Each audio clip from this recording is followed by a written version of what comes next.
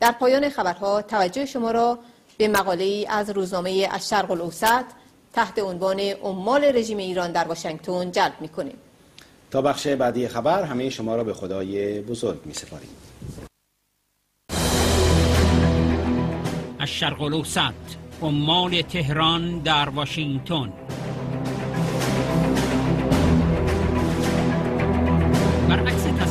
رژیم ایران سعی دارد در مورد خودش و مواضعش علیه آمریکا ترسیم کند این مواضع از حد شعار مرگ بر آمریکا که فقط حرف است فراتر نمی رود. از نیمه دهه 90 میلادی رژیم ایران مشغول تشکیل گروه های فشار با نام لابی در پایتخت آمریکا با پشتوانه مالی رژیم ایران شد. این گروه ها تحت کنترل هیئت دائمی رژیم ایران در سازمان ملل متحد در نیویورک بودند. نویسنده مقاله ادامه می دهد در دفتر کارم در واشنگتن دعوتی از مرکز وودریسون که خیلی پر آوازه است به دستم رسید که خواسته بودند در یک سمینار تحت عنوان ایران در پنج سال آینده تغییر یا تثبیت بیشتر وضعیت فعلی شرکت کنم. پاکت دعوت را باز کردم دیدم یکی از سخنگویان را می شناسم.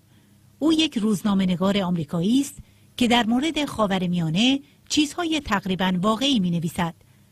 اما سخنرانان دیگر آمریکایی نبودند و این امر من را وادار کرد که راجع به آنها تحقیق کنم. یکی از آنها مدیر یک شرکت مشورتی است.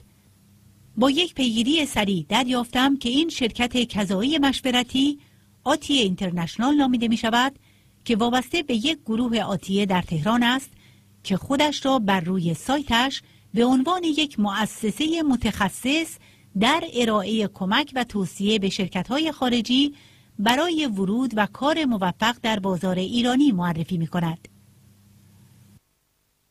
سخنران دوم یک محقق فرانسوی به نام برنارد هورکارد است که می‌خواهد به رژیم ایران فرصت داده شود که اورانیوم را غنیسازی کند و رسیدن به توافق با آن منجر به رفع تحریم ها و عادی سازی روابط با غرب به ویژه ایالات متحده می شود. سومین سخنران روبرتو توسکانو ایتالیایی بود که قبلا سفیر کشورش در ایران در سالهای 2003 تا 2008 بوده است. در یک مقاله در هافینگتون پست توسکانو نوشته بود که برای سیاست های آمریکا بهتر است که به سخنان ضد آمریکایی رژیم ایران توجهی نکند و به سمت گشایش با آن ادامه دهد. توسکانو که وظیفه دارد چهره رژیم ایران را بزک کند و نسبت به جنگ هشدار دهد و از شورای ایرانی آمریکایی تعریف و تمجید کند مقالش را با حمایت همین شورا منتشر کرده است شورایی که یک ایرانی سوئدی مقیم واشنگتن به نام تریتا پارسی که به طور نوبه‌ای در این سایت می نویسد آن را اداره می کند. تریتا پارسی یک دهه است که دوست وزیر خارجه رژیم ایران جواد ظریف است. از آن زمان که ظریف نماینده دائمی رژیم ایران در سازمان ملل در نیویورک بود. در نیمه دهه گذشته ایرانی مخالف حسن دایی الاسلام پارسی را متهم نمود و پارسی هم به نوبه خود یک افترانامه را علیه دایی الاسلام اقامه دعوا نمود. دادگاه دستور باز کردن ایمیل پارسی را داد تا اینکه مشخص شود که وی در تماس با ظریف بوده است و او اقدام به هماهنگی بین اعضای کنگره از هر دو حزب با این مسئول ایرانی می نموده است. ایمیل هایی که پرده از آن برداشته شد مشخص کرد که ظریف و پارسی بار اول در مارس 2006 با هم ملاقات کردند. ظریف به تریتا پارسی سند معامله بزرگ را که رژیم ایران به آمریکایی ها در جریان جنگ عراق در سال 2003 ارائه داده بود و واشنگتن با آن مخالفت کرده بود داده است. اسناد دادگاه نشان می دهد که تهران این سند را به سفیر سوئیس در ایران که حافظ منافع آمریکاست داده است که او به نوبه خود به آمریکایی ها منتقل کرده است.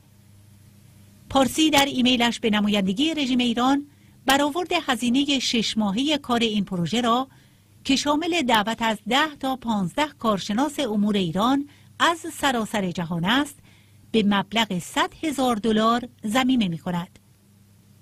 در سپتامبر 2012 دادگاه علیه پارسی حکمی صادر کرد و او را به پرداخت مبلغ 185 هزار دلار جریمه به دایی الاسلام محکوم کرد. نمایندگی دائم رژیم ایران در سازمان ملل در نیویورک نه تنها بر لابی رژیم در واشنگتن نظارت دارد بلکه همچنین بنا به نقل قول کریستیان ساینس مانیتور از دو بازپرس فدرال آمریکا در نوامبر 2009 بر کار آنچه که به نام بنیاد علوی شناخته می شود نظارت دارد. این بنیاد توسط شاه ایران در سال 1973 تحت نام بنیاد پهلوی تأسیس شد. در سال 1979 نام آن به مؤسسه مستضعفین تبدیل شد و بعداً به بنیاد علوی معروف شد. در فوریه 2012 پلیس مخفی نیویورک اسنادی را که مربوط به می 2006 می‌شد فاش ساخت که در آن ارگانهای اطلاعات رژیم ایران در ایالات متحده از طریق مؤسسات متعدد از جمله بنیاد علوی فعالیت می کنند. این اتهامی بود که این بنیاد بر روی سایت خودش مکررن آن را تکذیب می کند و می گوید که مأموریت اساسی آن شرح فرهنگ اسلامی و زبان فارسی و ادبیات و تمدن است. در صفحات دیگر سایتش این بنیاد معتقد است که هدفش حمایت از فرهنگ شیعه است. این بنیاد دارای یک آسمان خراش در مرکز شهر نیویورک است که از اجاره هایی که دریافت می کند درآمد کلانی دارد که از آن برای کمک مالی به بیش از سی مؤسسه آموزشی در سراسر ایالات متحده استفاده می کند. کارشناسان معتقدند که تهران این اموال را برای پاداش دادن به دانشگاهیانی که به نفع آن می نویسند و یا ارگانهای تربیتی که تحقیقاتی را به نفع منافع تهران منتشر می کنند استفاده می کند. اما علا رقم تکسیبیه بنیاد علوی مبنی بر اینکه هیچ ارتباطی با تهران ندارد دفتر اف بی آی فاش ساخت که رئیس مؤسسه فرشید جاهدی در سال 2008 اقدام به از بین بردن اسنادی کرده است که ثابت می کند این مؤسسه بخشی از اموال بانک ملی تهران متعلق به دولت ایران را پرداخت کرده است. بخشی از این اموال ممکن است در برنامه هسته ایران مورد استفاده قرار گرفته باشد. در آوریل سال 2010 دادگاه فدرال نیویورک حکم سه ماه زندان را به اتهام سنگاندازی در تحقیقات و مانع شدن در اجرای عدالت علیه جاهدی صادر کرد. همچنین بر بخش زیادی از اموال و دارایی های این مؤسسه دست گذاشته شد. در واشنگتن فعالیت های متنوع لابی های رژیم ایران ادامه یافت که همگی خواهان برداشته شدن غیر مشروط تحریم ها از رژیم ایران و ائتلاف با آن می شود. حتی اگر نیاز به امتیاز دادن به آن در سوریه و لبنان و عراق و کل منطقه باشد.